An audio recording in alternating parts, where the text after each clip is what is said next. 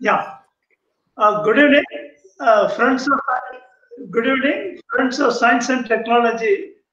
Uh, today, Birla Industrial and Technological Museum, Kolkata, is very happy to organize online lecture on the topic from art to part, a peep into digital fabrication related to 3D printing. And we got a very renowned uh, speaker with us. He is from Bangalore. Dr. Guru Prasad Rao is a director and mentor at Imaginarium India Private Limited. Uh, he is, uh, this company is leading in 3D printing.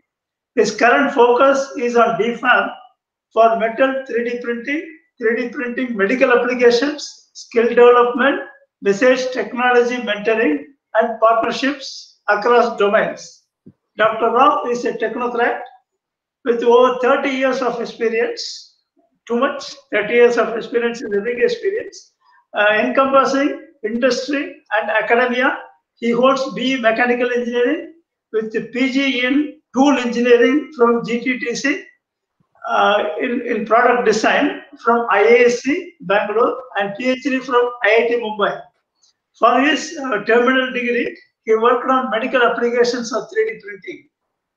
His industrial assignments include Titan, Thales, Crompton Greaves, and presently at Imaginarium. Dr. Rao is associated with many industrial bodies such as CII, FICCI, NASSCOM, IAMF. Presently, he is a part of member CII National Committee on Design. As CII conference chairman, he successfully led a 3D printing conference 2019 by CII at Mumbai. A little bit about Imaginarium. Imaginarium is a leader in 3D printing and advanced manufacturing technology, housing the largest setup of 3D printers in the country, having processed game-changing applications for over 50 industries. Imaginarium has helped disrupt and manufacturing sector by enabling enterprises to prototype faster faster design, better and realizing products in shorter time span. We are grooming the next breed of makers and innovators for another manufacturing revolution. With these few words, I would like to leave the forum, the dais to Dr. Guru Prasad Rao and Mr. Bala will be coordinating. I welcome all of you. Have a nice lecture and enjoy the talk by Dr. Guru Prasad Rao. Thank you. Thank you very much, sir. Welcome. Such a generous uh, introduction there. Uh, Yes. thanks for this uh, wonderful opportunity to reach out to the children, the future of India. Uh, thank you, Abhijit Bala, for this uh, wonderful opportunity. And uh, without much delay, I will start my presentation. Today's topic is art to part, a peep into digital digital digital fabrication. When we say digital fabrication, digitization has been happening quite some time now and it is to as you can see an animation art to part is actually converting our dream into tangible things which we can hold in hand right?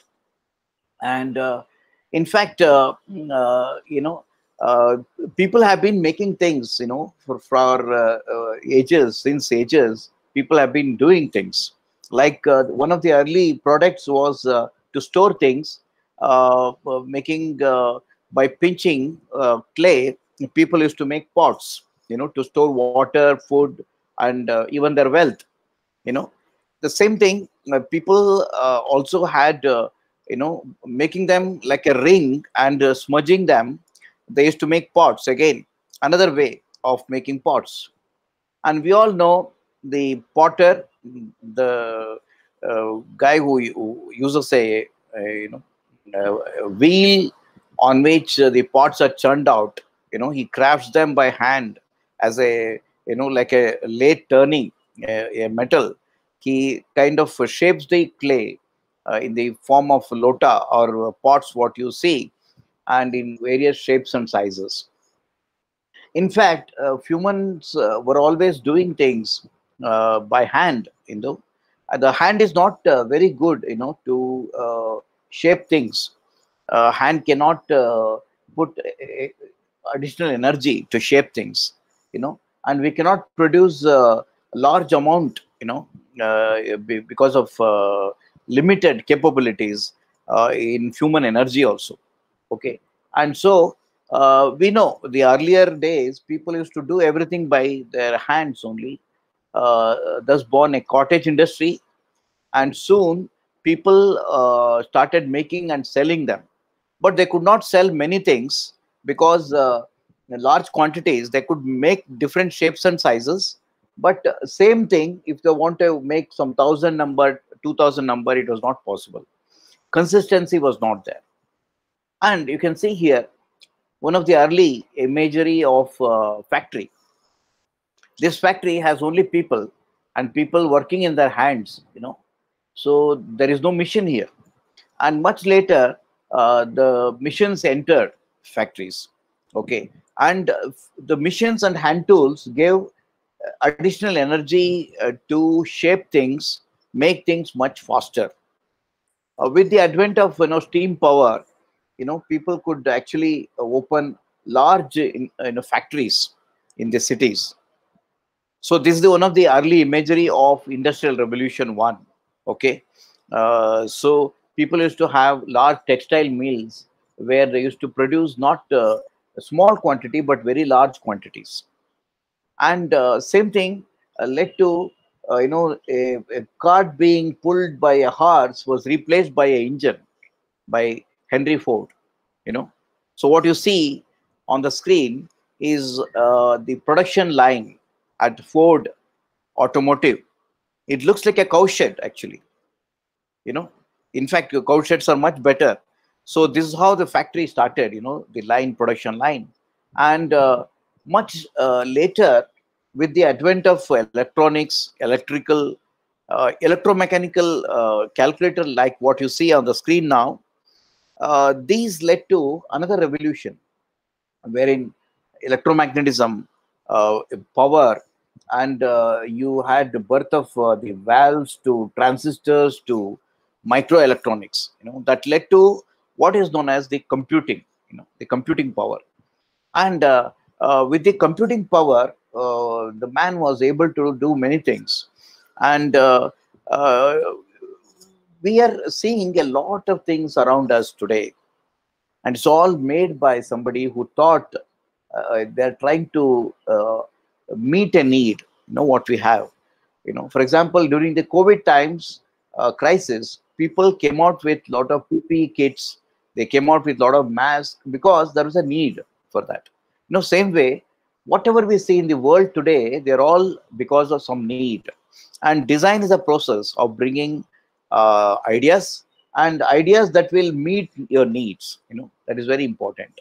And you can see uh, a design is a highly iterative process where you make things you externalize whatever you have in mind on a paper and then you start converting that into an artifact you know. And this used to take a lot of time you know earlier.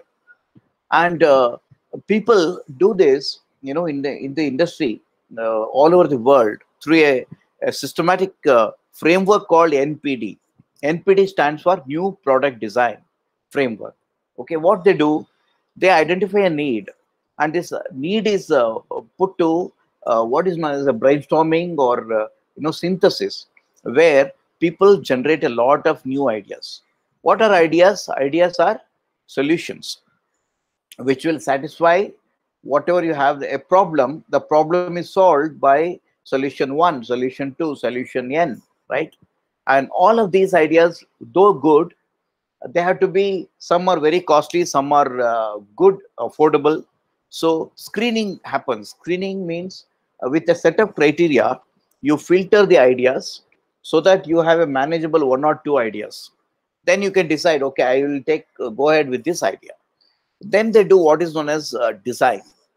Design means detailing of this idea. Uh, like idea when you see uh, it needs uh, material it needs thickness it needs a particular shape and uh, who will do it where they will do it all that thing you know detailing is done during the design. And design has to be tested. You know, invariably when you test it, uh, you you cannot test a paper prototype. You have to make a, a design idea, and you then apply the conditions you expect it to function during the end use. You know, and that is called as prototype.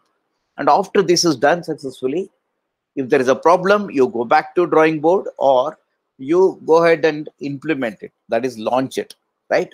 This has been always the uh, you know process all over the world, and in fact, ideas needs to be tested before hand because the investment what you do for initial idea is very little. Sitting here, you can think of any idea, right? It doesn't require any kind of investment, but the moment somebody says, okay, let us go ahead and make this idea, you need to think uh, because that is going to take a lot of uh, money, you know. So you can see here, the blue curve is the cost incurred curve and the orange curve is the cost committed curve. And during concept design, uh, the uh, cost is very little.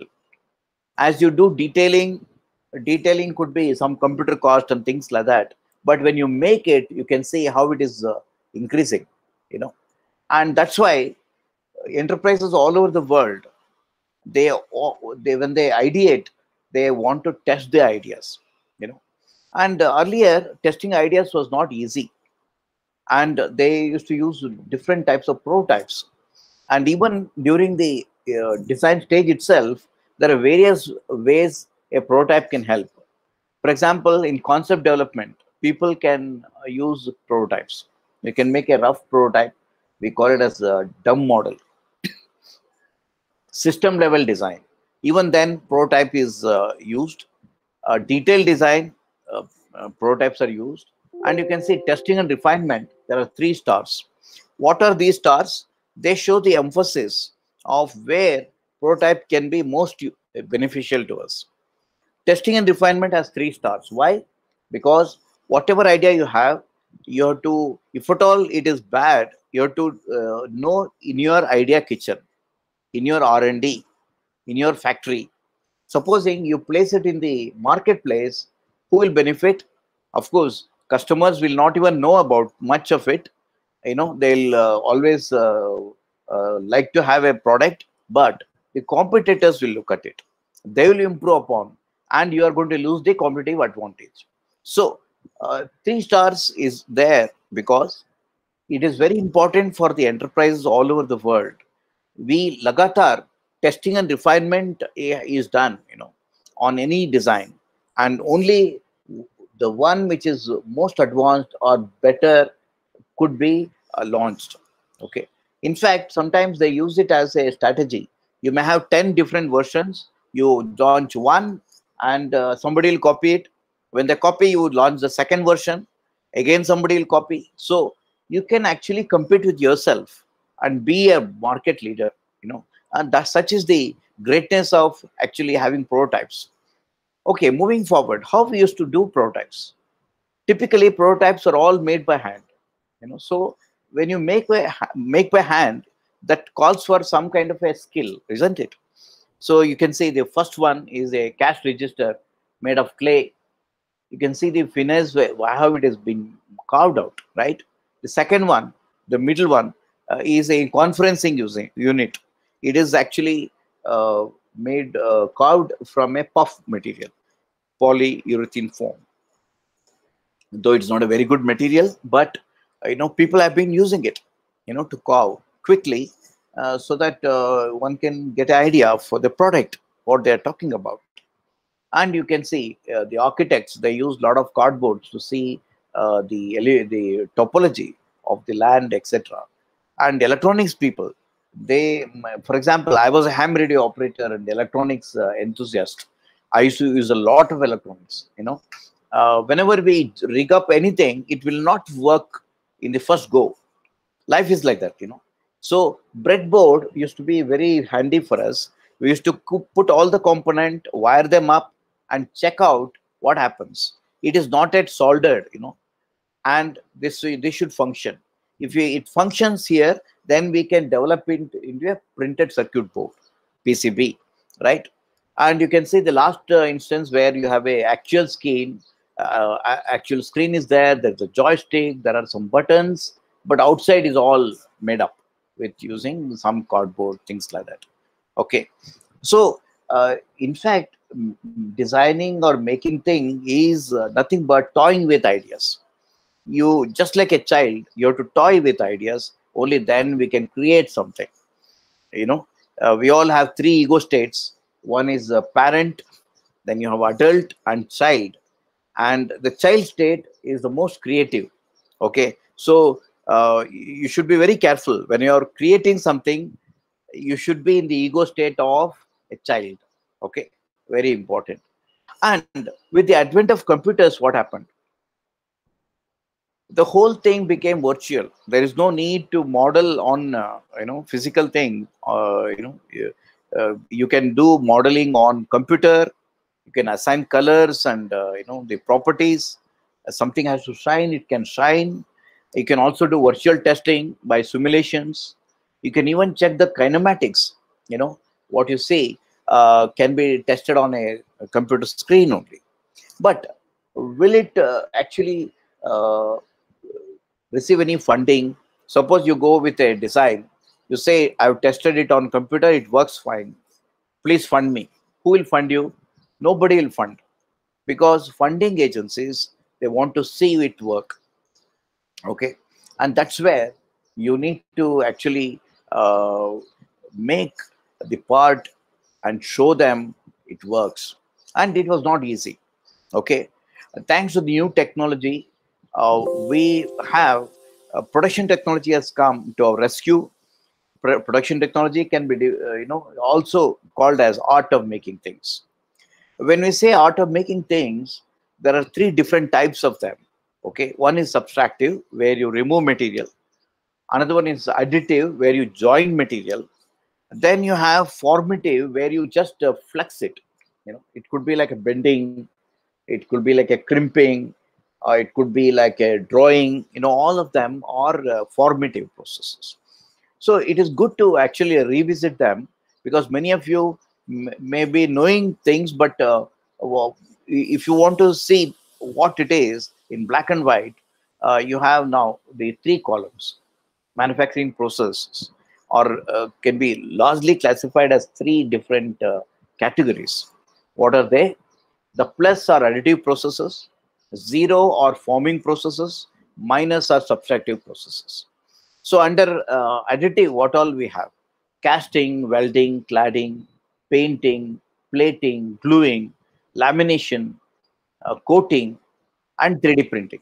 So you can see here 3D printing is a, a part of additive process, you know, additive processes. And uh, under zero or forming process, you have bending, extrusion, drawing, forming, forging, coining, rolling, knurling, embossing. Okay, all of them. And uh, under minus or subtractive processes, you have turning, shaping, milling, drilling, planing, broaching, trepanning, sawing, reaming, grinding, filing, chipping, all of them, you know, will come. And uh, all of them have led, you know, they've gone through a transformation, what we call as a digital digitization of manufacturing. Uh, with the computers, the so-called uh, uh manual lathes have become CNC lathes, computer numerically controlled lathes, you know, like that. You can see the journey, uh, you know, which started uh, early 18th century to today, uh, we are stepping into industry 4.0 you know. And in between you have industry 4 uh, 2 and 3 uh, which added many things. And in fact 3d printing is a part of the third industrial revolution.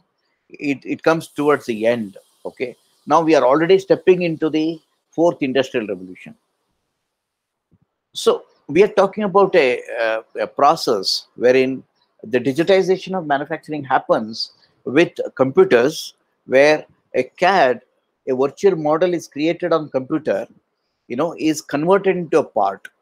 Let us see how. So we are going to today uh, spend some time looking into this wonderful process. Some people call it as 3D printing. Uh, before that, they used to call it as rapid prototyping. Uh, some people call it as additive manufacturing. as a practitioner, I would like to call it as digital fabrication. Okay. Now, moving forward, you can see here a turning or milling, what you see is a subtractive process. And this process creates a lot of, uh, uh, you know, waste. You can see the chip which is there in the middle uh, because it is wasteful. So material is removed, you know, instead of adding. Uh, so this is uh, not at all uh, uh, energy efficient nor eco-friendly. So if we compare the traditional process with the additive process, the scrap is less in additive. The energy required is also less. So we can say the additive manufacturing or 3D printing is a greener manufacturing process. So it is all about bringing art to part and let us see how it goes. So if you have a, a doodle like this, you know, this doodle has to be first, uh, the idea sketch has to be made into a virtual 3D model. Then it has to be triangulated, uh, you know, called STL. Then we can print it. And how the printing is done, 3D printed uh, printing model has to be triangulated STL file. It is given to a software where it is sliced. You know, each slice is put back no layer upon layer in order to create uh, the object you know uh, so it is like uh, dematerialize it and materialize it you know something like that we can say in fact 3d printing uh, many people think 3d uh, printing means uh, that wire is there wire is going to be deposited you know and that only they think it is a 3d printing some people say no no it is a process where there is a liquid, liquid gets solidified. They're right. Some people say, no, no, I've seen somebody uses powder and using powder they make. In a way, all of them are right. Correct, no? It is like blind people looking at uh, elephant, not able to, uh, you know, arrive at calling it as elephant, but they saw something which they felt that is right because they were blind. Same way, many of you would have got uh, you know introduced to some form of 3D printing. In fact, 3D printing has different forms, you know, uh, like SLA, stereolithography, SLS, uh, selective laser sintering, FDM, filament deposition modeling, LOM, laminated object manufacturing, binder jetting, metal jetting, and uh, directed energy deposition. You know, all of them. You know, it can happen. It's, it may so happen some of you may discover a new one why not we can put that also in you know we'll then update this uh, diagram that's all so that brings us to the definition of this technology how do we define it so 3d printing refers to a set of technologies not one okay which help to fabricate you know i'll not say 3d print fabricate 3d object 3d object means it will have a volume and it will have thickness and it will have depth and all that. How it will build, build layer upon layer, okay? One above the other, you know, it keeps on building. And from where uh, it builds, it builds from digital input data. Very important, digital input data. The input could be from a computer 3D model or it could be from a medical image slice data where you have slide, you know, like echo, you have CT, you have MRI, you have all of them, different modalities. Uh, they are basically slice data. So somebody thought we can put these slices back, get a volume. And so uh, medical image data is also useful to build 3D models. Now coming to uh, scanning, you know, if you have an object today, we can scan, scan and get the point cloud data using point cloud, again, you can recreate the model and hence you can print it. So these are the three ways a, a 3D print input data can be got. One from the computer, second from medical image data, and third from by scanning. Okay. Moving forward, we have some of these are pioneers, you know, who actually uh, uh, made this technology. Uh, Dr. Uh, Kodama, in fact, uh, he's he could not get a patent, but he is the one who coined the word rapid prototyping. And whatever he proposed, it was actually done by Chuck Hull he got it patented in 86 so the technology is 30 years old 33 years old right and uh, Carl Deckard he he is the one who was a student then he did his uh, uh, ME project and then went on to do his uh, PhD also at Texas University. He uh, came out with selective laser sintering. Steve Scott Crump, he uh, invented FDM, which is very popular among all of you. Some of you have seen, most of you must have seen FDM. Okay, it is because of him.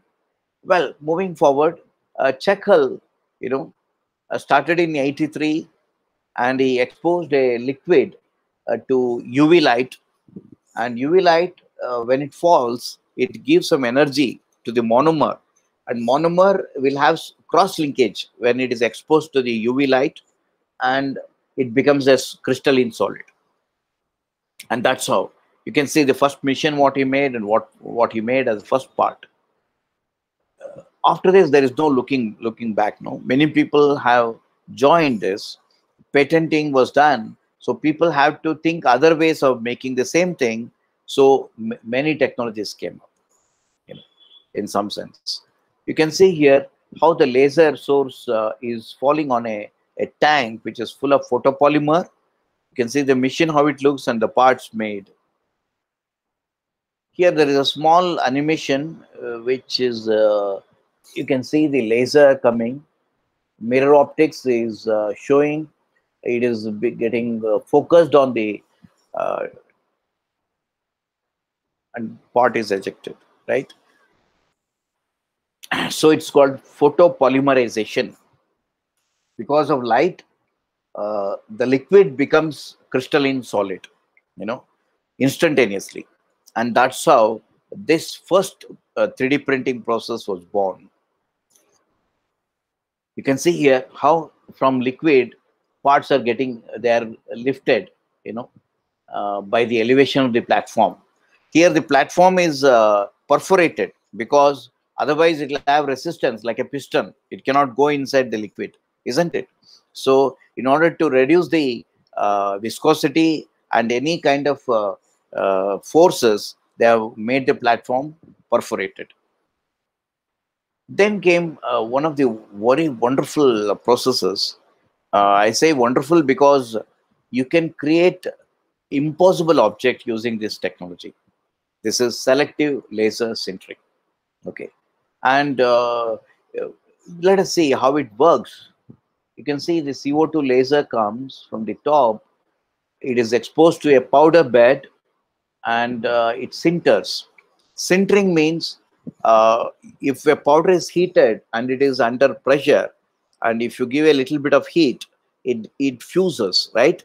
And that's what happens uh, in selective laser sintering. It selectively sinters the place you know the, the bed so that you can create wonderful objects okay? The powder is fed on uh, two uh, sides with two pistons you know moving up and down.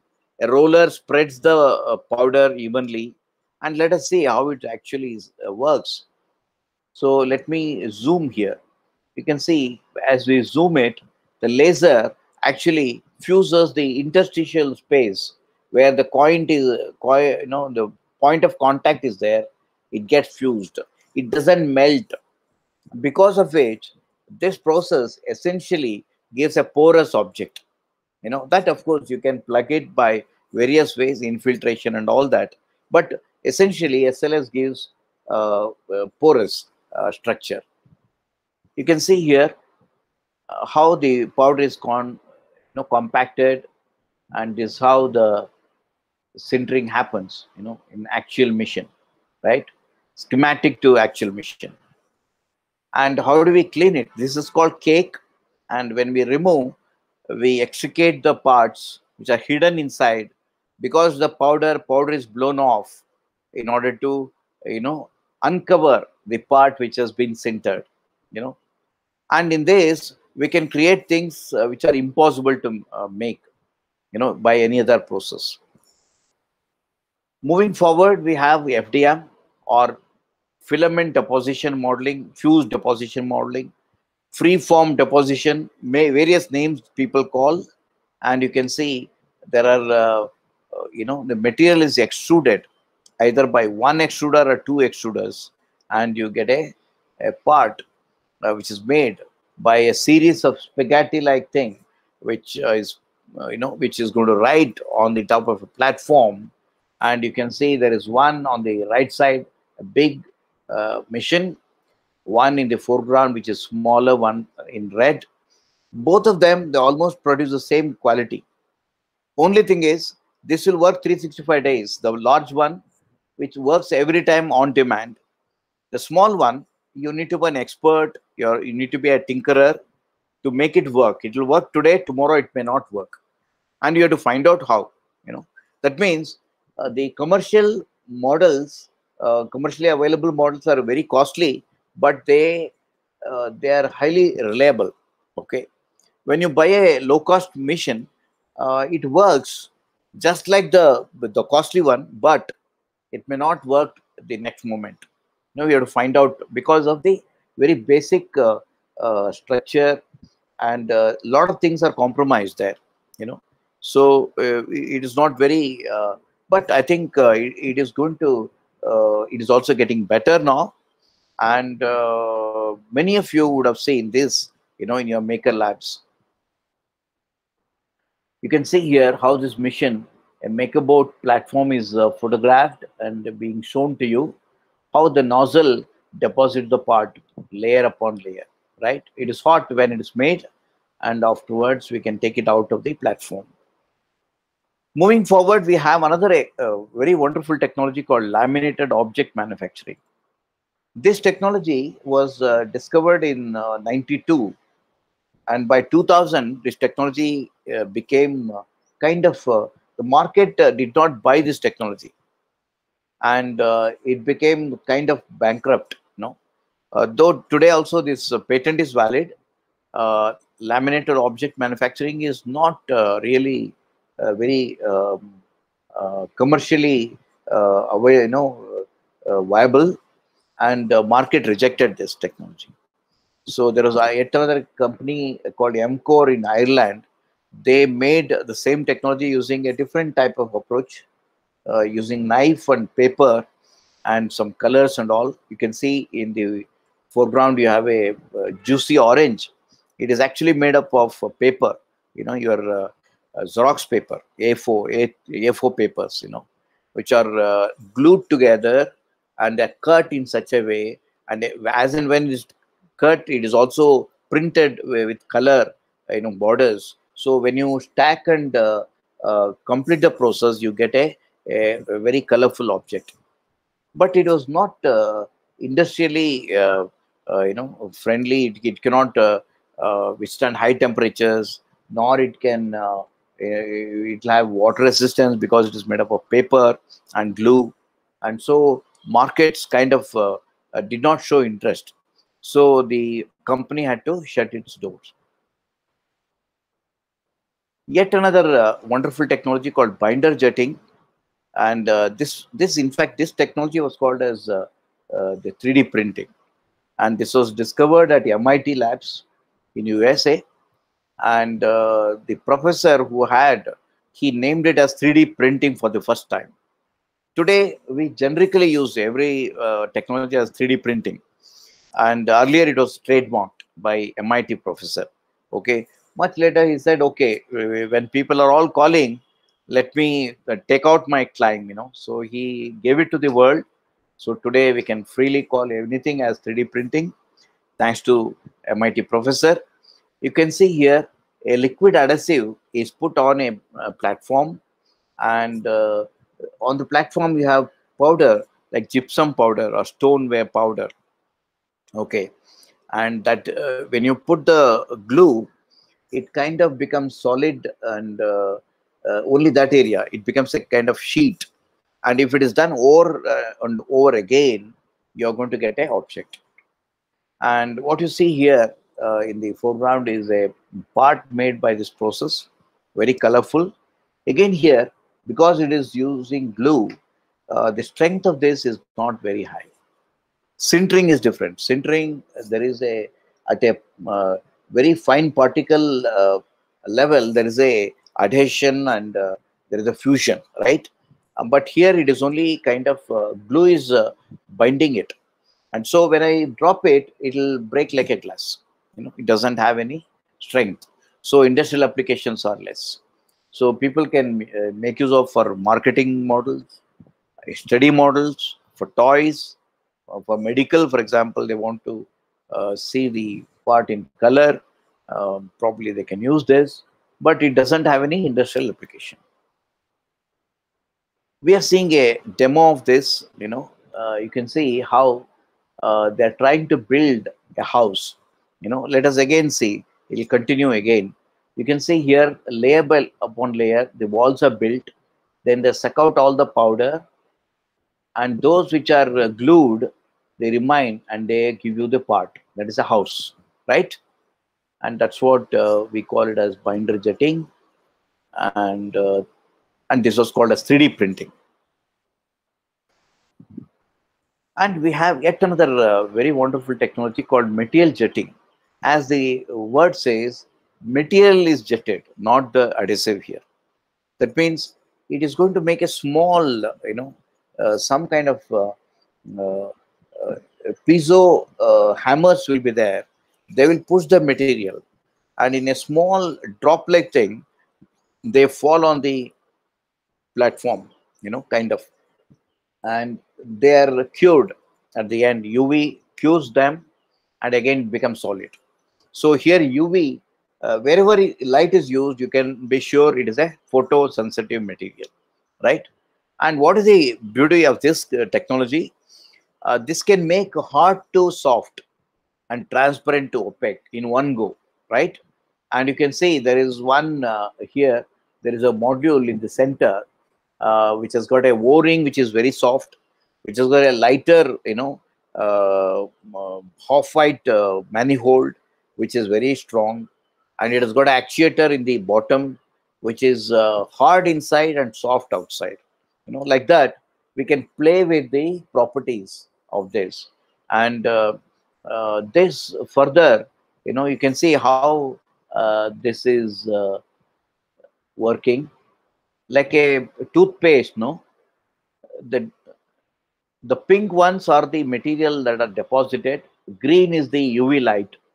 You can see after deposition the green light uh, comes and it sinters it or not cures it. You know it cures it. And that's how in binder jetting and in uh, metal jetting uh, the printer works. So it is just like a xerox or uh, you know um, your color print head. Only that uh, here the z axis keep on uh, moving up. So the head will move up you know. Uh, so that's very important. You can see here how powder bed and uh, there is one more called uh, uh, HP uh, metal jet or fusion multi-jet fusion works. Uh, some of them uh, are very fast because the way they work. You know, in a, a typical laser, a laser to make several kilometers to make a part, while on the right hand side they are all coming at a time. You know, so uh, th that will make the industrialization of this technology much faster because industry needs things which are faster and cheaper you know always. There is yet another technology called directed energy deposition where uh, you can use uh, you know the people use uh, like a welding you know high uh, energy beam is used in order to melt locally and that's how they actually be able to make uh, parts you know. And uh, you can see here how the melting happens. Unlike in uh, sls here uh, the uh, laser beam actually has a uh, melt pool you know? So there is no industrial space here. There is a melt pool and of course this will be very hot process you know?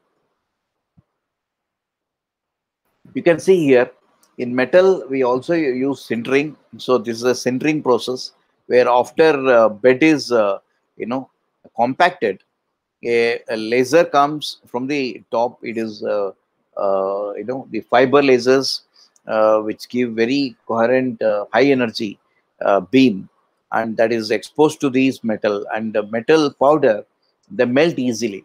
In order to melt a large amount of metal you require a lot of energy. Here eh, because metal is in the powder form of powder very fine powder of uh, 20 to 80 microns of various uh, uh, proportions uh, they kind of melt. Because they are very small they can melt at a, at a much lower temperature you know. And with the laser which is coming with a uh, very um, a small spot there is a small heat affected zone you know by which they can actually uh, make this possible so nowadays we also have uh, different metals which are being uh, you know uh, mel- uh, melted by using laser beam. So there are two nozzles. Nozzles are carrying powder while the center nozzle is uh, carrying laser beam. And uh, the as the powder come in midair they become molten drop of metal and they get deposited. And that continues. The process continues to make the metal parts so you can see some of these are metal uh, 3d printing machines we have. And uh, you can see here this is a robot right? It's a kuka robot. And you have a injection like uh, uh, dispenser there which is having red clay and it is getting deposited. Now can we call this as a 3d printer? Yes indeed. This is a 3d printer because it is creating object layer by layer it is getting uh, input as a digital data from a computer and it is building a physical object. So this is definitely a, a 3d printer. But 3d printer the earlier stereotype of a box and all is gone right? Here you have a robot. It can in fact create uh, all around. You know it is like a your panipuri wala. He makes panipuri dahi puri uh, and whatnot. All types he will give you know in one guy. So same way this part this kuka robot can actually uh, create a object here object here object here all around it. So in some sense in future you know such things could be even more. And you can see here this is called as a 3d doodler okay? What does it do? It is like uh, your fdm it is like your fdm filament deposition modeling. So what is the price of this? It's about couple of thousand rupees. Uh, in the early days it used to be 8000 rupees. Now i think it is available for 1000 rupees uh, 2000 rupees. So one can gift it a, perfect uh, birthday gift for someone uh, not two small children but uh, you know because it has got a hot tip. Uh, so it's like a glue gun.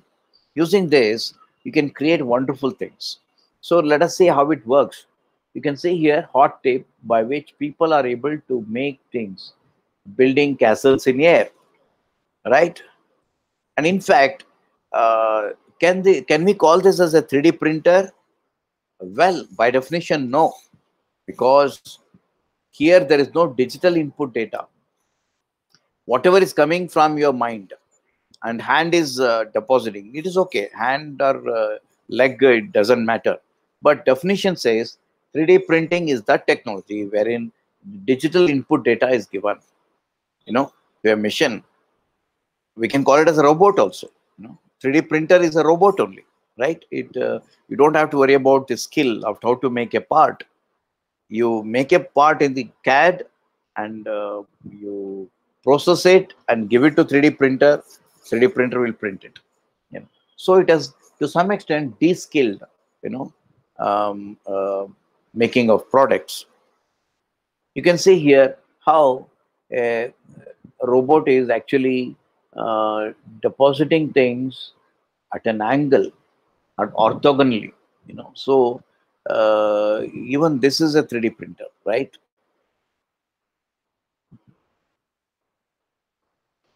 So can we say uh, lotto is a, a 3d printed one no it is additively made but not 3d printing right it is additively made because so many bundis are there they're put together made into a ball you know this is like sintering you know sintering is this only is sintering And we also have, you know, if you have sandwiches which are put one above the other, it's also additively made, right? Sandwiches are uh, additively made, layer by layer, but it is not 3D printing. Very important. Now, in fact, uh, Dr. Adrian and his team, they proposed something called as uh, 3D printer printing itself. You know, and they started a program called uh, Replication uh, Rapid Prototyper Project called RepRap. This led to the commercial, uh, you know, MakerBot and all that. You know, so the technology became open source uh, from uh, 2009 onwards. It became available in internet. You know you can google search you can download and you can make your own 3d printer. Of course they're all uh, referring to one particular technology called fdm or filament deposition modeling and in fact people uh, have been uh, toying with this idea printer printing itself. So so much so there are a lot of cartoons like this uh, which came. Today we have the same, same technology in all shapes and sizes okay? You can build a 3d printer and you can build a company and you can sell the machines. You know this patent is now there is no patent for this. Patent of course there are patents but uh, it has become open source. That means you can uh, not only make it improve on it. In fact the makers of the world have improved this technology. Today um, the uh, the so-called inventor made it at 178 micron. Now people are making it for 50 micron also. Accuracy, I mean. So uh, the makers have built and improved the technology. And that's what happens with open source. And today, this technology is making deep inroads to almost every sector you can think of, jewelry, medical, FMCG packaging, lifestyle, architecture, automotive, aerospace, then you have uh, uh, you know electrical electronics white goods plastics and many more. In fact this technology truly brings things which are impossible to even think. Can you imagine these products what you see on screen? They are truly unimaginable and impossible to make but for this technology you know. And that's where they add value to uh, these artifacts, what you see here. So let us see how this, uh, why people like this technology. The technology, it will take time, it is costly, and uh, in all that, you know, you cannot make millions in this and all that are there. What is the strengths of this technology? The strength of this technology are its part consolidation. If there are 20 parts, you can make it into one part with the same functionality. So you have a box, a top hai, Dakkan and bottom portion. Okay, you need a hinge for that. Other side, you need buckles uh, to uh, latch it or latches, and you need uh, you know a lot of screws and rivets to secure it. And you need a hinge, and a hinge will have a hinge pin. You have a hinge plate top and bottom, and they are again secured by so many screws. That means it, some 20 30 parts go uh, to make a box you know. And today thanks to technology we can make it as one just one. What is the bill of material? Just one. Then we can make quick jigs and fixtures. Electronics is one area where miniaturization is happening every week. Every week something ch changes there. So you cannot have a, a investment into jigs and fixtures which are uh, cast in steel you know so they make it out of uh, plastic quickly and they use it. So uh, it has become a great uh, uh enabler for uh, you know quick changes that are there in the electronics market. Now coming to need for light weighting. Light weighting comes in uh, wherever you know when something is airborne like aeroplane, spacecraft, you have to um, every gram no you, you you pay for what every gram there you know because it is something floating in air and it goes uh, you know above and uh, to even the outer space you know. Uh, so weight uh, the payload becomes very important.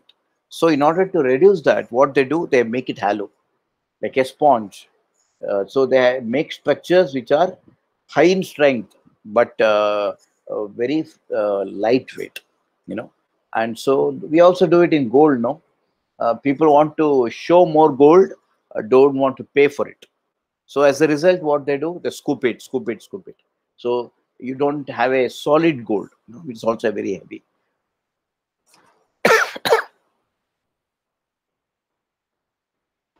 then of course complexity uh, additive manufacturing or digital fabrication or 3d printing uh, can handle any type of complexity.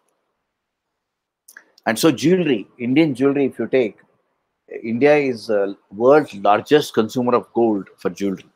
Okay. And uh, uh, you know you're all uh, from calcutta and you know calcutta is full of karigars. They're famous all over the world. I used to have a lot of friends, you know, uh, when I was working with Tanishq. Uh, we had Ratan Karmakar, Tapan Sardar, uh, Mandal, and all those people, all from 24 Parganas or Hooghly and those places, you know. Uh, we are still in touch. So, uh, you, you know, in, um, in you know, uh, in Calcutta, they do a lot of gold, right? And so complexity is very high. And this technology can handle it. So we we used to say the Bobos who came and did a lot of these, they have become now the Bobos have become kind of uh, uh, digital Bobos now. The children are actually making 3D printing. You know, so the jewelry, uh, the way it is made, it has changed forever because of the new technology. And uh, you see in the middle need for one part. So supposing somebody wants only one part, then you cannot manufacture it or if you manufacture also you cannot call it as a manufacturing manufacturing is making millions not one right? So when you make custom make anything you can say fabrication. That's why i call it as digital fabrication. You know like fabricating your uh, gate or your grill for a house is done by uh, uh, artist you know the, the grill worker right? And you tell him i want this design so he'll make it. You want your name on it you he'll make it and give it so it's a fabrication. So digital fabrication is by the enablement of digital tools such as computers, CNC, and robots and 3D printer. If you create anything, that is digital fabrication, right? And uh, the last one, but not the least, uh, the need for customization. Supposing, in fact, I had one uh, uh account uh, guy from Calcutta.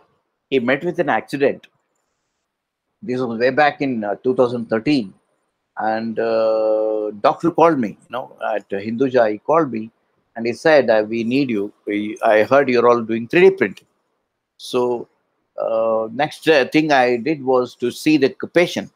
The patient had uh, a large portion of his skull taken away you know and he was in deep pain and some conscious you know what is called as confused consciousness.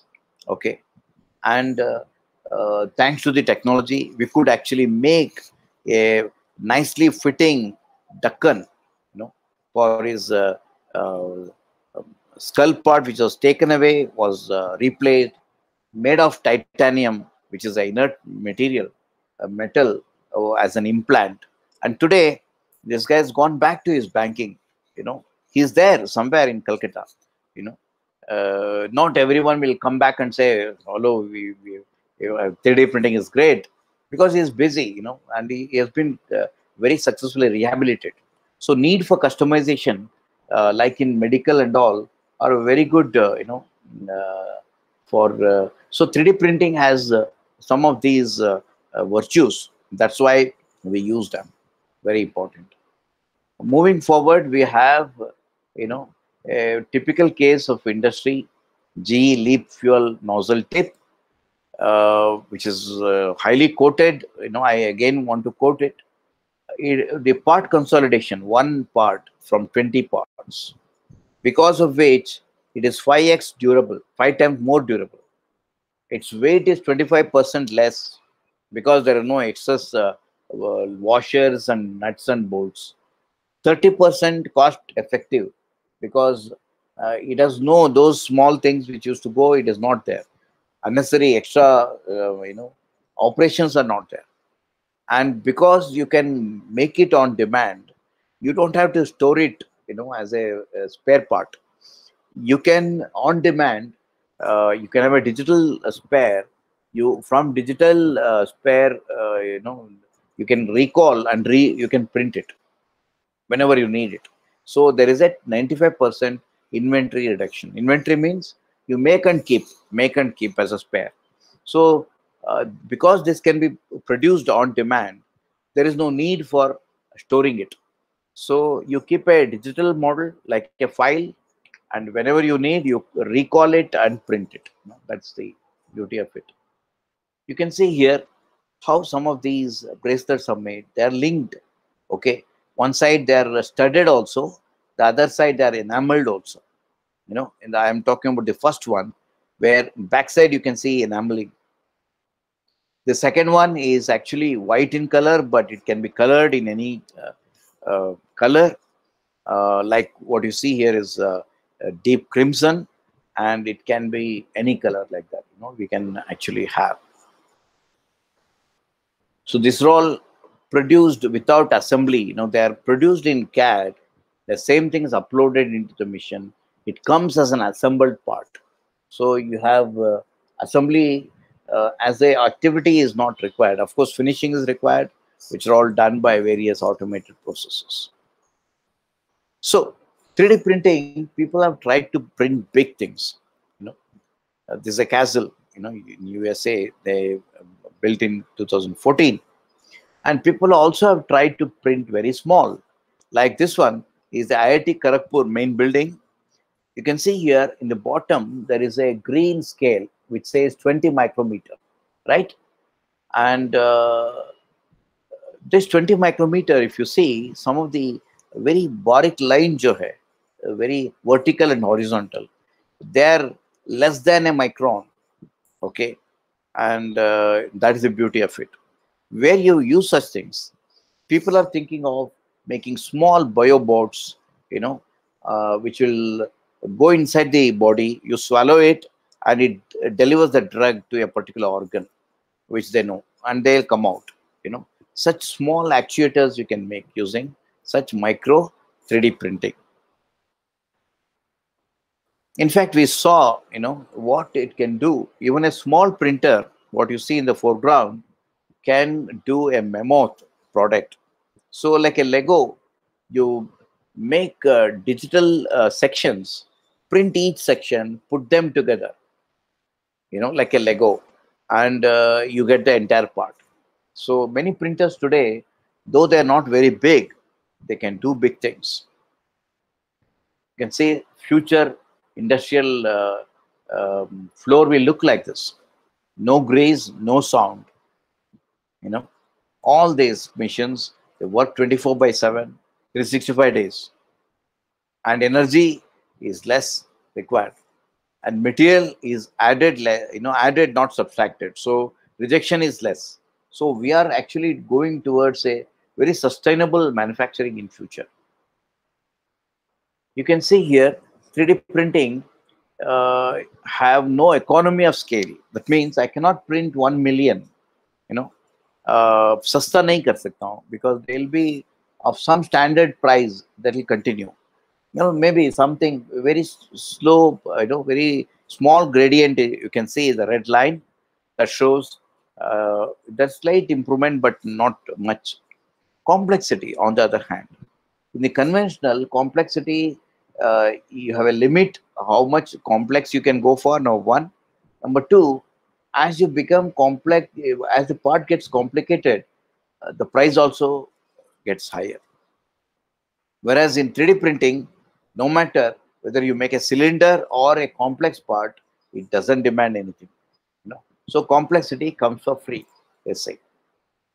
You can see here, you know, how conventional and additive are compared. You know, the cost uh, in uh, a product in conventional, it keeps on increasing with complexity and wastage keeps on increasing also. And on the other hand, in additive, you can see there is a uh, fixed cost which keeps on going no matter what you do. And rejection, you see, rejection wastage is also very limited, you know, not much. Uh, whereas in conventional, it is much more. Well, moving forward, we have uh, uh, one more very important feature of uh, additive manufacturing because it is a layer by layer uh, stacking. Uh, when the stacking thickness increases, you know, you can see uh, it, the definition becomes less. So finer it is, finer is better always. 2D is a pixel. 2D pixel, you know, in in 3D we call it as voxel. And as you can see, when the voxel becomes fine, uh, you're going to get a better resolutions. Again, it is repeating here. Uh, the thinner sections are always better than thicker sections. You can see here, uh, thicker section and a thinner section, how they make. Uh, again, a 2D pixel, 2D we call it as pixel, in 3D we call it as voxel. Okay. And uh, again here also, as the voxels become smaller, definition is better, right? And coming to uh, the where exactly we place the technology. So for volume, you use the conventional manufacturing, like injection molding, die casting. Uh, when you have a very large volume, when the volume gets reduced, you can go for investment casting or vacuum casting. Still reduced, you know, you can go for CNC when the complexity is very high, you can go to 3D printing. But you can see the volume. Volume wise, 3D printing is in the lowest. Complexity wise, it is the highest. So we have to play with the strength of this technology, very important. And uh, with uh, 3D printing, one can also make a 3D master pattern. Using that, we can cut a mold and we can create a number of replicas, you know. So I'll show you some replicas, what we have taken out. Uh, you'll be able to appreciate, you know. Uh, so here I have, uh, you know, you can see this is a, a solid model, uh, which is made up of plastic. This is a translucent model. Can you see there? I'm not sure whether it is clear or not. So these two are uh, vacuum cast. And uh, we can also make it in metal. You know?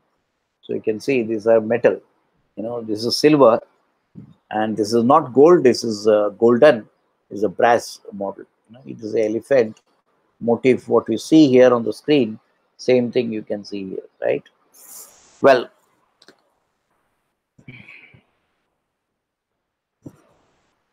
and in fact technology as it is emerging uh, there is an emergence of new aesthetics the capability pushing people to make things which are something like this something like this, something like this.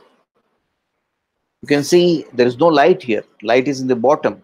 What you see is the effect of light, which is uh, you know lighting up the tree. And uh, this is not vacuum cast. This is not injection molded. This is not die cast. This is not CNC milled. This is 3D printed. So such artifacts actually uh, push the boundary of uh, what you can imagine. Okay, and uh, uh, people, designers can freak out you know, with the things what they can create. See, this is uh, a shoe.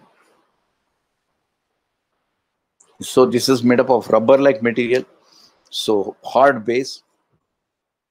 So it's very comfortable to wear this kind of shoe for walking. You can see again here, hard base and uh, very soft top you can see here, again here, Uh, the structure, you see how it is made, the high heel is made. You can see people are really freaking out with the way they have also made it lighter by making it porous with voids. You can see the spectacles, again they are made lighter, look thicker but lighter because the voids they have created with these meshes. You can see one more one more the bag entire bag is printed you know including buckle including the the hinge. It's all 3d printed directly. You can see this. Again it's 3d printed all in one go. It is not assembled at all. In fact, uh, mathematics, you know, uh, mathematical equations, when you try to use them uh, and you start seeing various forms like what you see on the screen, uh, they export it and then they mirror and they export the whole file and they print it. You know, so this looks like a Mount Abu or Belur Halebid uh, sculptures, but uh, they're actually uh, made from an equation, a mathematical equation. You uh, substitute n is equal to 1, 2, 3, like that.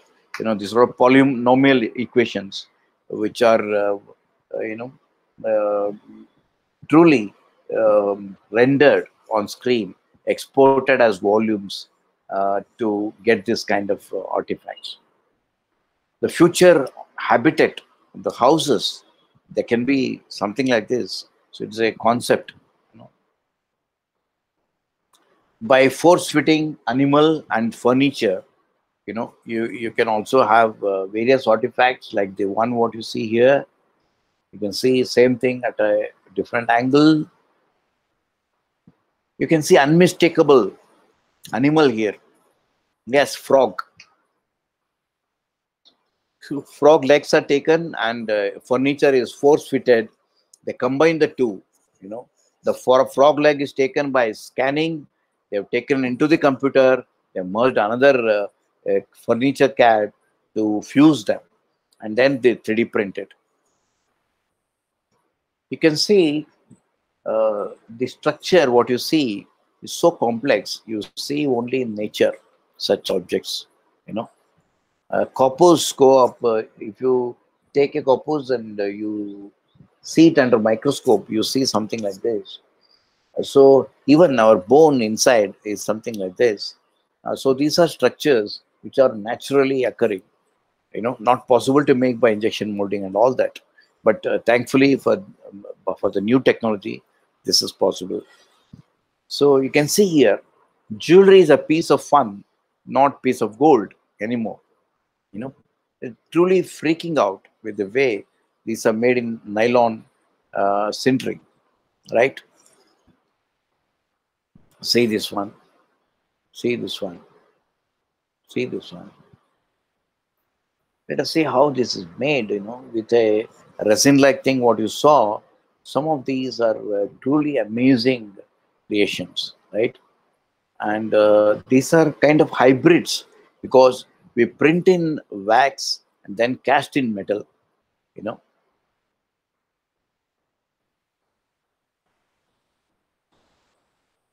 You can see the fluidic uh, you know thing in a choker which is actually made up of nylon is shown here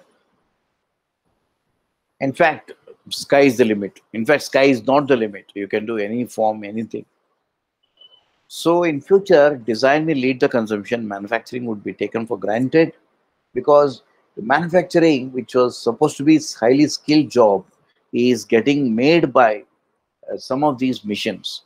You know, so in future, uh, the manufacturing is going to get disrupted by uh, some of these uh, technologies. The future of 3D printing, of course, is to make real things things for end use. Okay. So we can actually see the trend. You know, in 86, what we could make was only mock-up model. In 2010, we can make products which are testable. Okay. And uh, in 16 uh, onwards, we have been making end user parts. So it is becoming a kind of a option uh, for bulk manufacturing. You know, what are actually helping this uh, adoption to uh, actually uh, make 3D printing, um, you know, entering the manufacturing? It is the solution price. It has to be low and the speed has to be fast. So some of these HP jet fusion, what you see here, they are low in price. You can see price say there then speed speed is there much higher compared to the rest what you have on the left hand side so uh, it's very important to play with the strength and uh, it is slow and steadily becoming an option for manufacturing. You can see here rings, we have seen it earlier also, lightweighting. Uh, these are rings not made of gold but by nylon. The sole uh, for a footwear, which is custom sole. You can see here, interestingly, a metal part is getting replaced by a multi-jet fusion part. You know, only retaining one small little bit of metal, the rest have been converted into polymer. It's good, isn't it? You can see some of the complex parts. Very complex part and uh, people have also used you know this blowpipe what you use in your uh, birthdays you know uh, the same uh, technology uh, is used here to make a tongue you know let us see the actual uh, application when the compressed air is fed through the pneumatic system uh, the loop will flux making the tongue uh, uh, point to come closer and secure and hold a part you can see in the right side how it is picking and placing an uh, component. This is a truly compliance mechanism. Compliant mechanism is going to do away with springs, no such things. As far as material is concerned, we have a lot of material to choose from, polymers to metals to sand. And again, polymers, uh, we can have uh, thermosetting and thermosets and then we have metal you can use uh, uh, various forms uh, there may be different definitions but uh, one and all i mean they they are all the same at the end of the day. They all are very similar. In binder jetting they use sand and uh, they make uh, sand boxes core boxes and all. And that is another technology which is there. You can see here thermoplastic share, photopolymer share, and various our metal. Metal is very small, isn't it? Metal is very, very small. So that's why we don't see widespread uh, adoption of metal, but it is uh, slowly and steadily that is increasing. So if you look at the broad spectrum of what we are looking at, you need to have an idea, and that idea has to be converted into a CAD without CAD, we cannot do anything. We cannot 3D print anything. And we cannot 3D print anything without any material. So what you see here is animation where the digital manufacturing uh, opportunities we are trying to explain. After 3D printing, something has to be process- processed, you know, like painting and all, then your world of opportunity. So let us uh, um, learn about some of the industry case studies. Okay, before that, we are showing the speed here. What used to take 11 and a half hours as a SLA, today with clip we can do six and a half minutes. So that is the kind of zipping that is happening. So some of the models before petty coffee pay. Sorry, uh, this is something called as um, pattern, uh, wherein the blue ones are all wax. We have filled wax here. An impeller for a submersible pump, and uh, this whole thing is burnt out, and we are going to then cast metal into it. You know, it's a sacrificial pattern, wax pattern. One more. These are handles. You know different types of handles. This is glass filled nylon material, which is having high dielectric strength, and they're also very strong. And uh, you have uh, um, they, they, they can be seen uh, in electrical goods. These are some of the gears. Okay, a wear and tear uh, uh, material so they're they're able to uh, pull this off because of the uh, materials materials what they have like PEEK and all are better than steel. You know, PEEK is some eight times more stronger than steel. So if you use such material, um, it's very advantageous. So this is a vacuum cast uh, design. You can see some of these are grills which are made by 3D printing. This is a side door of a car.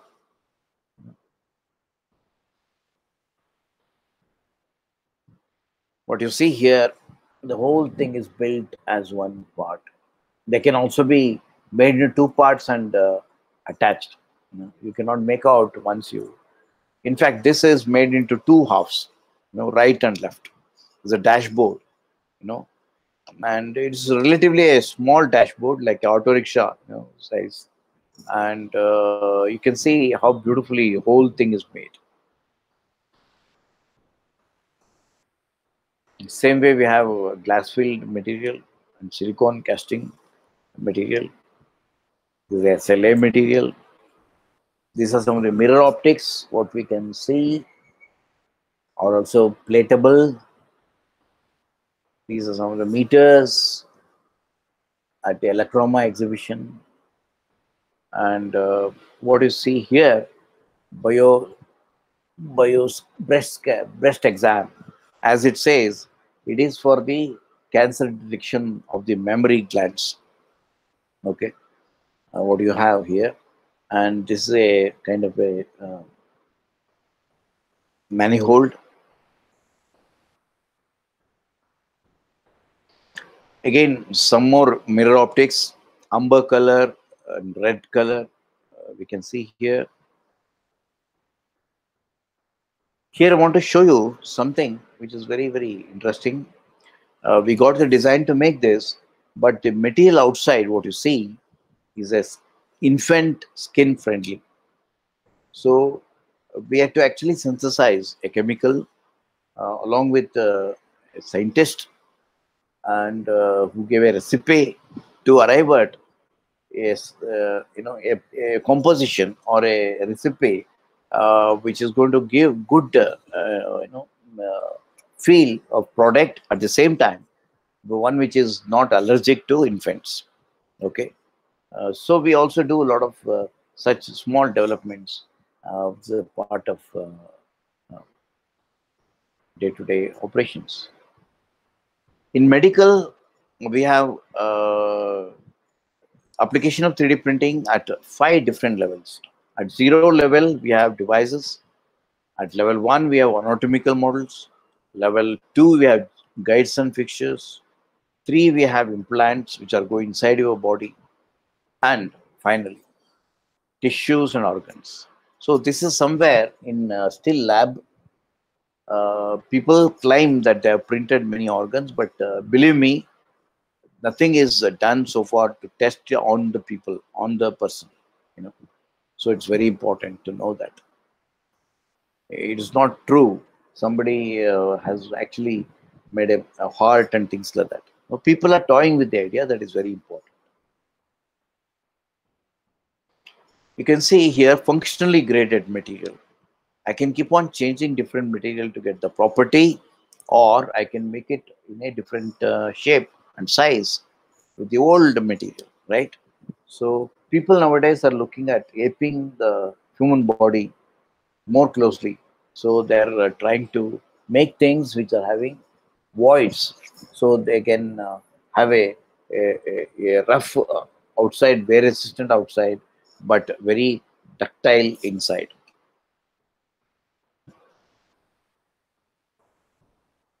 So here you can see any technology if it does not bring a smile it is no technology you know. So here you can see a lady from gujarat. She had also uh, had the same problem. Cranial implant had to be made customized to her and it was so she came to our factory and gave a testimony that uh, how it has changed her life. And incidentally she's a science teacher who met with, met with an accident.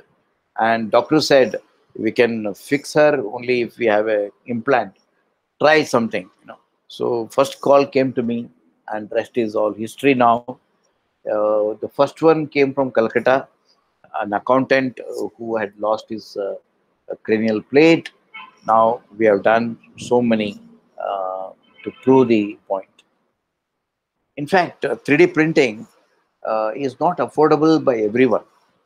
You know, and uh, the small designers, individual designer, maker, artist will go for a community common facility or something like a workbench or maker asylum or uh, some such thing where people have all the tools. You go and you do experiment you do the creation whatever you know. And so many of them in future will depend on the cloud factory okay? We have a cloud factory. That means you have a file you upload and get your uh, quotation and then uh, we go ahead and make it you. you can see the dexterity of robotic arm also has increased thanks to 3d printing what it can do for you you know it can increase the accuracies we can also do with advanced mathematical modeling uh, ai uh, we can do the optimization using optimization algorithms genetic algorithms, you know, um, the so-called uh, topology optimization, all of them are uh, our future of this technology. You can see here, you can go about making different uh, scenarios you can build and uh, you're going to have uh, wonderful new things coming, you know, as and when, like in a kaleidoscope, you you turn the uh, kaleidoscope, at every turn you find a new design. Something like that is going to be there for future you can see here this is a building facade uh, where they're trying to deploy some of the closing uh, windows by a kind of uh, compliant mechanism. Can you see? They have to control the sunlight inside the building.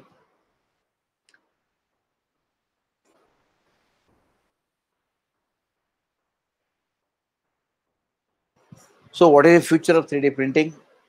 Hardware scope will be uh, soon saturated.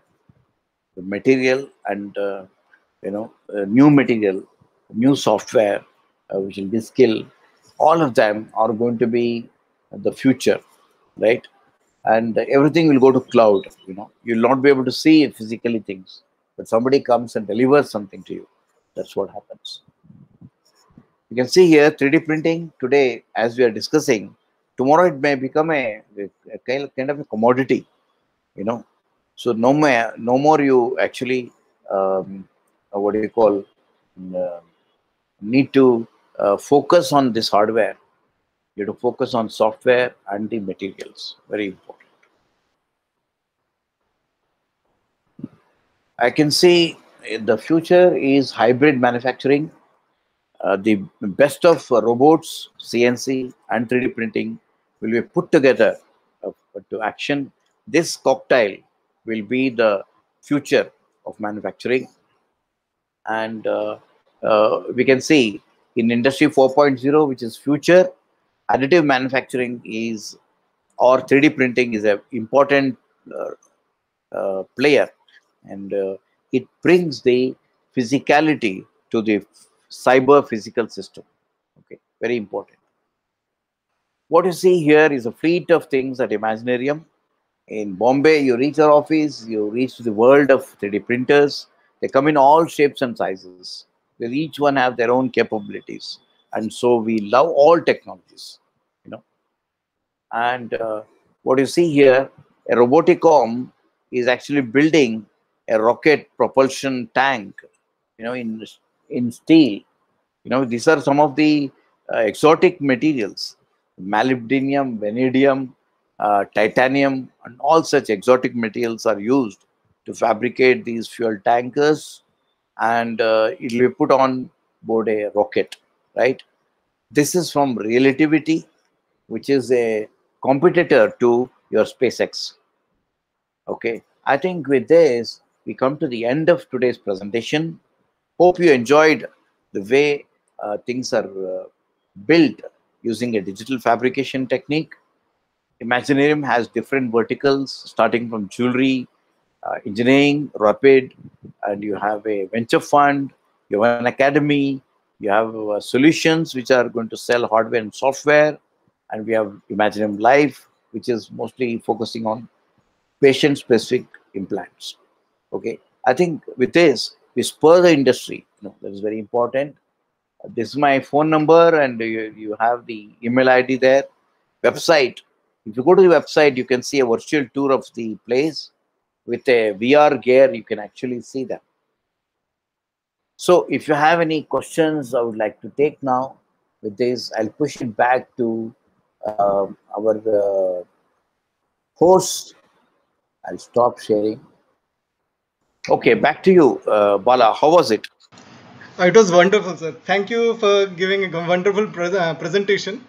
And it was our opportunity, like uh, one of the pi pioneer in 3D industrial printing has delivered the lecture himself. So I thank you a lot, sir. Thank you for uh, uh, taking through the technology, how the 3D printing has been done, and uh, how does this one fabrication and other challenges we fulfill through 3D printing. Basically, as you said, like uh, developing or manufacturing a single part, it's really difficult. And um, we have seen like uh, if we use 3D printing, so it's very easy and cost effective. So this yes. is there, and uh, I'm really thank thankful to you, sir and uh, you have also pointed out that the wastages are re really low in 3D printing, as you said. So we have some questions from students. So I would like to yeah. share with you. Please. So the uh, first question is, can we use 3D printing for nanoscale uh, fabrication or prototype of carbon nanotube device uh, uh, using this fabrication? Yes. Uh, there are some technologies called nanoscribe is a mission. it is there in IIT Kanpur and people are able to uh, make uh, MEMS and all very small micro mechanical devices and all. Uh, people are able to make uh, you know small motors which are nano size. You know, so uh, it is possible actually. So their application and there are a lot of uh, challenges also. You know, when you create something at a nano scale, you need to counter the seismic vibrations of Earth Okay, so uh, when we want to build something big, there are uh, big challenges. When you want to build something which is microscopic at nanoscale, also there are challenges. Okay, and so uh, seismic uh, activity, the vibrations, uh, they play havoc when they actually print at nanoscale. You know, even at micron scale, also, you need to have a table which is seismic proof. That means like a gyro, the table has to be protected from any kind of external vibration, you know. And so these are some challenges, you know, that uh, I think uh, uh, people are working and uh, applications are growing. Yes. So now we'll take the next question. It is yeah. like, what type of materials have you used till now for 3D printing at your firm?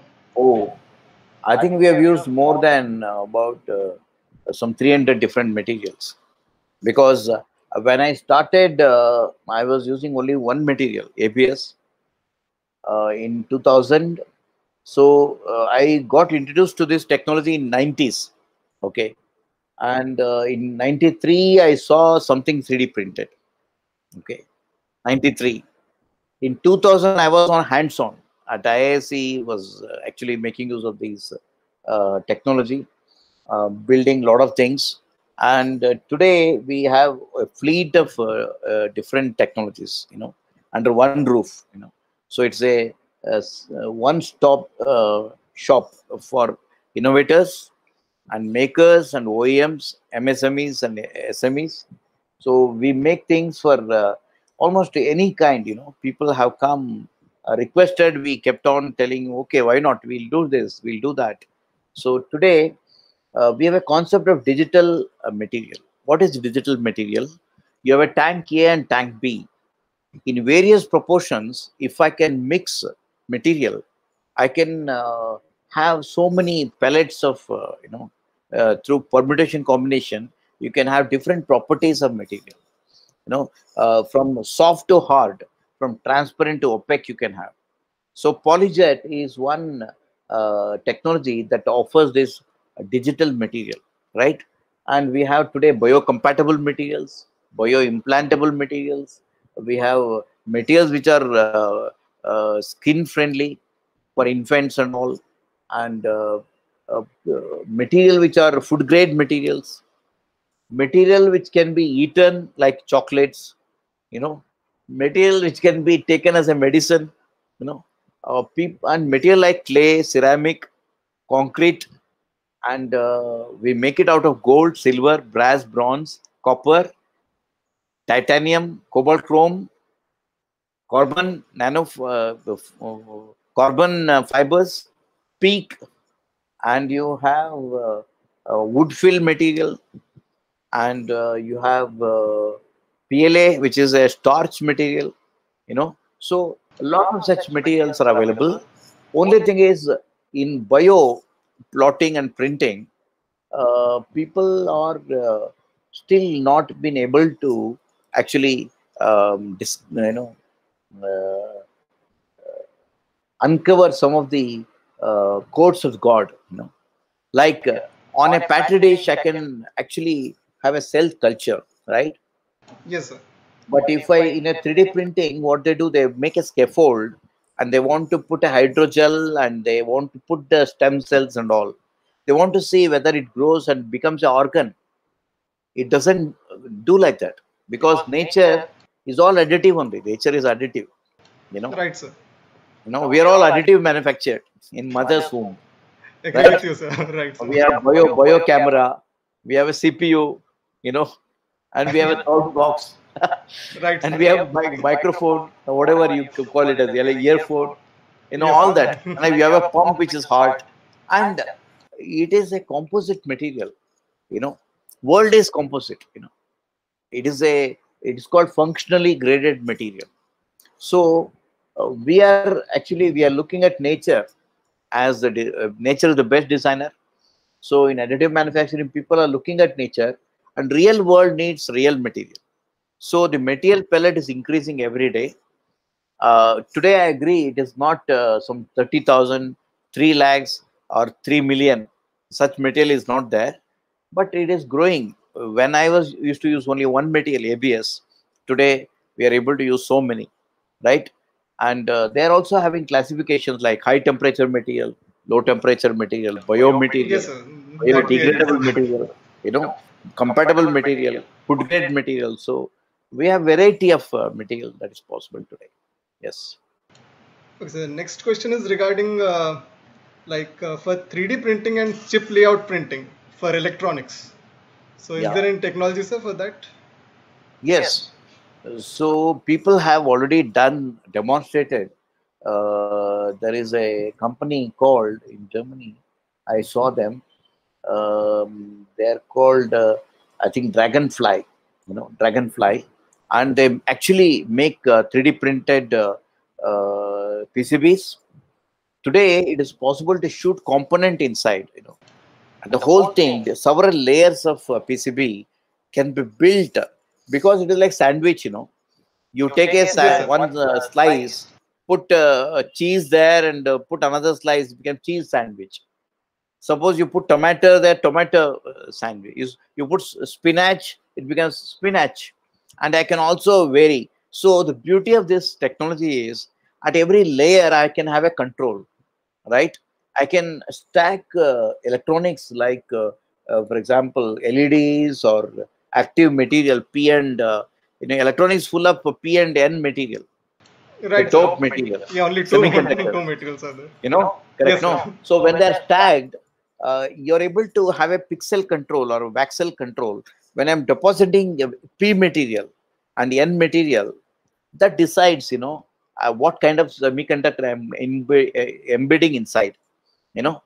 And today with vlsi and all people are able to do many things you know. It's a very thin wafer which will have so many electronics hidden inside because of the very large system integration vlsi and uh, people are able to make uh, a lab on chip you know lab on chip uh, you know like a smd and all uh, small surface mount devices which are like uh, ics uh, uh, like a small uh, drop of uh, uh, resin you know uh, you would have seen uh, Yes. how it is very very small and people are able to do that and that requires a special 3D printer now, in, you know, that is not open source because the challenges, as I said, are much different uh, in each technology.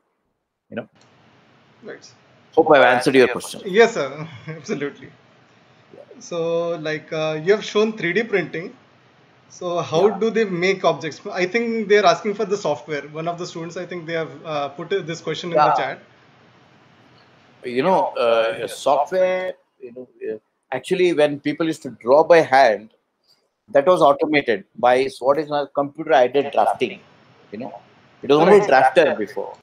Then it became computer-aided design when they started uh, having uh, you know, capability to build solid models, and also when you once you make a solid model, it'll have volume. So when you have a volume into you know, specific weight, will give you the weight of the object also, right?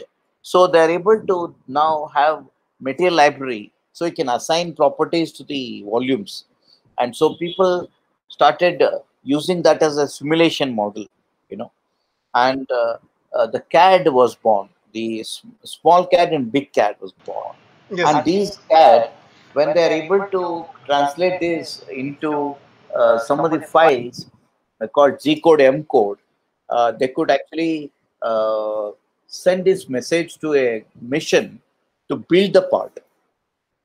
The so-called uh, NC and the CNC came. The NC and CNC use the M codes and G codes, whereas in the case of uh, M code is for the tools actually. You know, in the case of 3D printing, we only use G code because there is no tool because uh, there is only one head which will dispense the material layer upon layer. We call it as a nozzle, no nozzle which dispenses material. So that becomes only one tool. So uh, we we do away with M codes in uh, 3D printing. A 3D printer can be called as a CNC machine. You know, it qualifies definition. You know, only thing is it doesn't use M and G code, it uses only G code.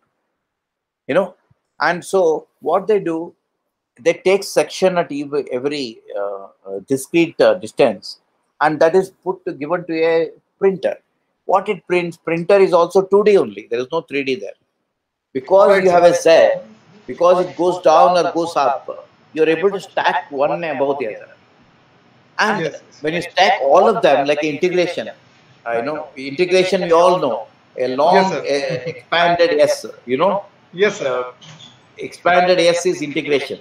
So when you have discrete parts which are put, you know, dt by dx, you know, n times that, you have a integration of that. And when you put them together, what you get is an object. And that's how uh, it is done. In CAD, we also have something called as geometric modeling, you know. So they say a line was born because a point went for a walk. You know a point went for a walk. It went straight and made a straight line. It danced and went it made a curved line. You know? That's really great, great explanation. and a line when it is swept you get a surface. And a surface when it is uh, extruded you get a solid you know and when you make it hollow it becomes a hollow thing. And that's how cad actually was born you know. So these are some of the fundamentals of what is known as geometric modeling okay? Geometric modeling has uh, uh, uh, things like uh, uh, you know the bezier curves the c1 c2 continuity and uh, the point the control points how they control the vectors all that. They've gone behind to actually uh, we use cad today without knowing all the, of them what i discussed are working in the background you know and uh, so CAD is uh, in, in, notes in its own way. I should take a special session on CAD because CAD is wonderful. Because without CAD, nothing you can make. 3D printer doesn't understand English. Yes, sir. You know, we'll look forward I- to it. Like I- if we get another day, so we'll yeah. take up this CAD also, sir, with you, sir. Why, not? We'll do. Yes, sir. So and uh, there was a question like, uh, sir, can I make anything, uh, any type of thing I want uh, from 3D printing? So basically, it's like uh, generating this idea to. yeah, yeah, you can do anything. Impossible things also. Yes, sir. What bhi nahi sakte, bhi sakte. Right, sir. And uh, so that's all were the questions. And there were many messages. They have thanked you, sir, a lot. And It's my um, pleasure. It's yes, my sir. pleasure, really. Uh, So- thank you, uh, Abhijit Bala, for this wonderful opportunity. Uh, thank you, sir, Ramchandran sir, for this wonderful opportunity. It's Yes, my pleasure. I always love to uh, talk to uh, students and children because they are our future. Yes, sir. And Calcutta is a very important place where uh, the science is still living, you know, and uh, the pure science. There used to be a lot of activity of science. Uh, you know, Roman uh, Raman effect was also uh, discovered in uh, Calcutta. You know, Roman was working in Calcutta, and you had great people like uh, Jagdish Chandra Bose there. You know, in Calcutta, who who is now considered to be the real inventor of radio waves. No, uh, Ja- uh, Jagdish Chandra Bose. And uh, uh, we had so many great people, including Rabindranath Tagore. So I wish you all of you uh, to contribute to this technology. We'll also discuss your technology when you add it, children, you know, because you're going to create uh, new technologies for not only for Calcutta, for India, for the world. Wish you all the best. Okay, Thank you, sir, for this wonderful opportunity, and uh, thank you for getting connected to us. And I Thank you. thank uh, from all the students who were part of this session, who were live through YouTube. Thank you, sir. Thank you a lot. So, from- you. with this, we would like to conclude the session. Namaste, sir. Thank you.